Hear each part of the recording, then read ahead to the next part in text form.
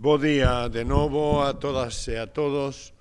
Benvidos a Pontevedra os que vos achegastes hoxe aquí. Ben, é unha sorte, unha sorte que levamos repetindo moitos anos, comprobar que a primavera pontevedresa tamén trae consigo un espazo de sabiduría, análise e reflexión como que hoxe comeza. A aula Castelao segue a ser, e de seguro seguirá así moito tempo, un dos nosos principais socios culturais, sempre atento a chegarnos propostas de pensadores e pensadoras de todo o mundo aos que doutro xeito teríamos difícil acceso. Polo que xa de entrada, ofrecerlle en nome de toda a cidade os agradecementos e os parabéns por facelo posible, por facer de Pontevedra un punto relevante no mapa do pensamento ao longo de tantos e tantos anos. Este 2022, a Semana Galega de Filosofía recupera o formato presencial. Recupera a posibilidade de xuntanza da reflexión fonda e serea do encontro a pé de rúa nos espazos municipais, recupera a súa forma clásica ao longo de toda esta semana que comeza hoxe e durante a que Pontevedra ben pode ser considerada o punto de debate e análise filosófico máis importante do país, senón tamén do Estado. Igual, eh, permitídeme, igual permítome facer esta breve reflexión, igual estamos perante outro ano histórico, ou polo menos cargado de feitos históricos. De seguro que os motivos polos que estes últimos anos serán sinalados como tal non son motivadores nen positivos. É mesmo un pode decir case prefiro non vivir estes fitos sexan unha pandemia, sexan unha nova guerra en Europa. Pero a realidade é que estamos aquí, neste intre concreto, e coido que a filosofía é ese conxunto de estudos e saberes que nos permite comprender o que acontece, darlle forma, darlle xeito, facernos, en definitiva, mellores a través do coñecemento, do entendemento e da análise. E coido que a temática deste ano, as contrahexemonías, dá xusto na diana da actualidade. Pon o ollo en conceptos como o imperialismo, o especismo, o capitalismo, a masculinidade hexemónica e a desidente, e tamén o feminismo, entre outros. E non o fai só desde a xeralidade. A Semana Galega tamén ten unha mirada desde Galiza para Galiza e así quedará demostrado nas sesións que temos por diante. Unha serie de posibilidades á hora de poder afondar na nosa idiosincrasia, nas nosas hexemonías e as súas contrapartes, claro, pois agora máis que nunca é preciso loitar contra a idea do discurso único, do pensamento homoxéneo, da imposición da mensaxe. Non me podo imaginar unha situación máis triste e tétrica que aquela onde só exista unha visión das cousas, onde só teñamos un xeito de velas. As contrahexemonías, o discurso que vai contra o hexemónico abren portas e novos camiños, abren portas a diversas respostas para unha mesma cuestión, mesmo para aquelas cuestións as que xa criamos ter unha ben feita e que durante moito tempo funcionou. O ser humano é cambiante, mudamos a cada instante, mudamos a cada pensamento, pois cada pensamento é esencialmente novo. Debemos afondar no pensamento, debemos procurar e achar sempre novas miradas, novos discursos que nos fagan unha sociedade millor. Estou convencido de que nesta semana moitos atoparemos novas olladas e novas palabras que buscan o mesmo, ou de algún xeito procuran lembrarnos que sempre hai outro discurso fora da hexemonía. E iso é algo que nunca debemos perder como cidadáns.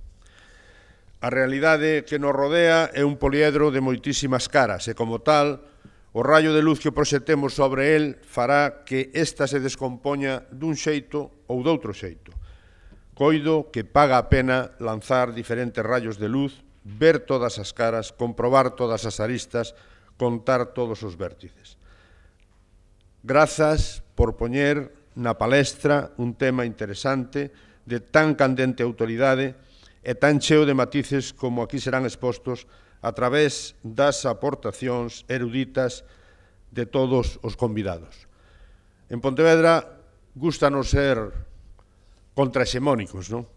E o, o modelo urbano que estamos desenvolvendo aí xa algúns anos eh, leva bastante a contraria de todas as tendencias eh, das tendencias non, pero dos feitos sí, de como se debe construir unha cidade pensada para as persoas. Non? Eh, este luns que ven irei a, a Madrid, que é onde hai que ir desgraciadamente para moitas cousas, a discutir co Ministerio de Transición, non, de Transición xa fun a discutir, non me sirveu de moito, pero vou ao Ministerio de, de Fomento eh, para discutir sobre as zonas de baixas emisións. Non? Fíjate que tontería, non? porque nós levamos 20 anos facendo unha zona de baixas emisións. É obvio, non? Reducimos un 90% no, no, na, na parte máis céntrica da cidade e un 70% en toda a cidade, eh, disminuímos a contaminación, o ruido, disminuímos os accidentes, recuperamos o espacio público, pero resulta que non encaixamos na zona de baixas emisións que está propoñendo neste momento o goberno, é, é curiosísimo, non?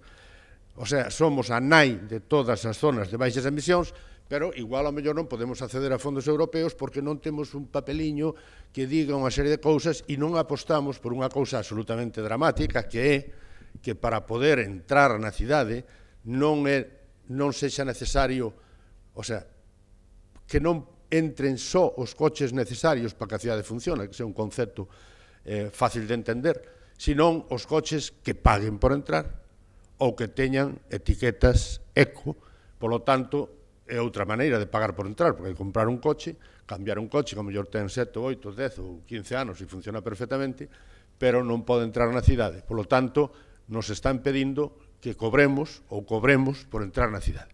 E nós non queremos por cobrar por entrar na cidade. Empezamos por eh, quitar a hora que estaba posta cando entramos no goberno, porque nos parece que o espacio público debe ser para outras cousas, non? para todos os usos imprescindibles para que a cidade funcione e que hai que restringir os tráficos innecesarios para que a cidade funcione. E eso se pode facer sen cámaras, se pode facer sen, sen cambiar de coche eléctrico ou a, a coches eh, híbridos ou, eh, ou cobrar por entrar. Porque, entre outras cousas, se ten demostrado que esas medidas que se tomaron, por exemplo, en Londres, ou en Singapur, ou en Milán, non foron capaces de conseguir os datos de disminución da contaminación urbana que fomos capaces de conseguir en Pontevedra sin necesidade de todos estes aparataxes que están moi ben, de, de novas tecnoloxías, porque, sobre todo, e a, e a cuestión é que hai unha aposta decidida por parte eh, do goberno e de Europa especialmente, en que eh, temos que promover o coche eléctrico por enriba de todo, porque estamos quedando un pouco atrás dos chinos e dos americanos, e entón nos obligan aos concellos a, eh, a, a que a xente que queira entrar nos concellos, nas cidades, incluso de máis de 20.000 habitantes, teñan que cambiar a motorización obligatoriamente, o cal significa pagar, pagar e pagar. E eu creo que, independentemente que hai que tender aos coches con etiqueta eco e que hai que tender aos coches eléctricos que se poida, eu creo que a fórmula máis importante para reducir eh, a contaminación nas cidades xa temos demostrado hai 22 que non é eh, precisamente esa, senón evitar os tráficos de paso, evitar os tráficos de excitación en búsqueda de aparcamento e permitir e facilitar o traballo da xente, as cargas e descargas, a, o acceso a garaxes, etc. etc. E funciona, non? Pois non fomos capaces de conseguir que na nova lei de mobilidade se incluya a posibilidade de facer unha zona de baixas emisións en base a medir efectivamente que se reduce a contaminación e ademais engadirlle cousas importantes que é a recuperación do espacio público para as persoas, que eso pois, non está incluído. Non? Polo tanto, somos contraxemónicos, desgraciadamente temos que seguir sendo contraxemónicos e estamos encantados de que, como todos os anos, estedes todos aquí para iluminarnos. Non? Polo tanto, nada, declaramos co señor presidente Daula Castelao ao unísono, declaramos inaugurada esta 38ª Semana Galega de Filosofía. Bo día a todos.